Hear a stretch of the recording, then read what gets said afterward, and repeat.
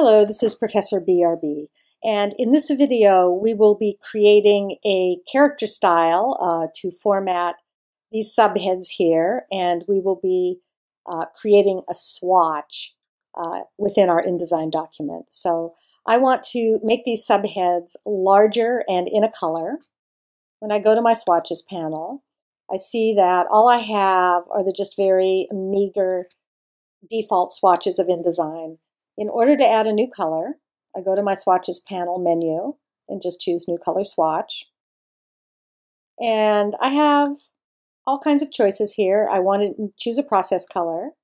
And under color mode, I can either just mix my own color in CMYK for print, or I can choose any one of these color libraries. And I'm going to choose the Pantone CMYK uncoded library because I can check those colors against my Pantone printed book and make sure I'm going to get exactly what I want.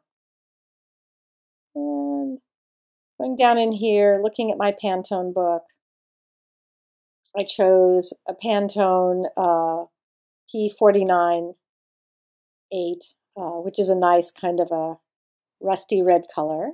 And I'm just going to add that. So now that's in my swatches panel and I can use it for my character style.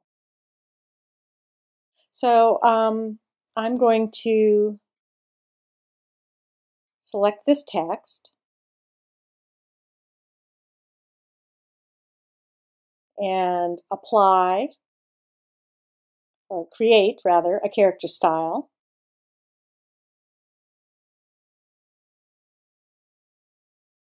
New character style. And I'm going to call it red,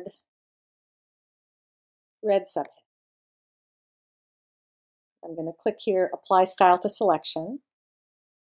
Go to my basic character formats, and um, I want this to be a little bit bigger. So rather than 11 point,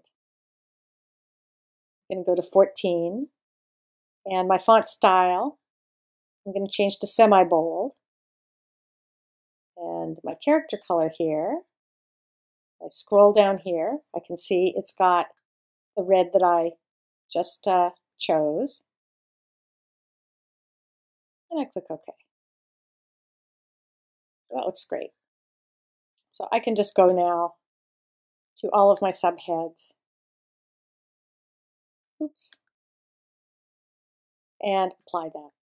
Uh, one thing that I should mention is that if you have applied a paragraph style uh, to your text that the character style will always override the paragraph style. So in a fight between paragraph style and character style, the character style always wins.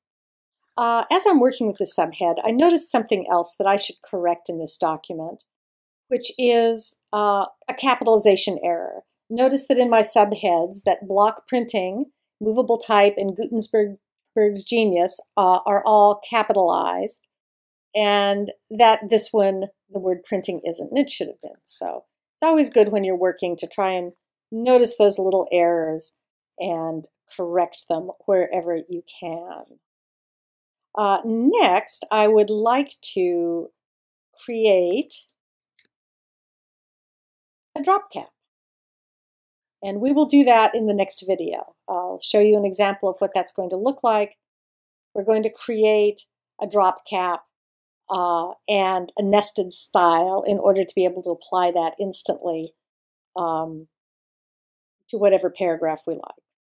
So thank you, and I hope you'll tune in to the next video.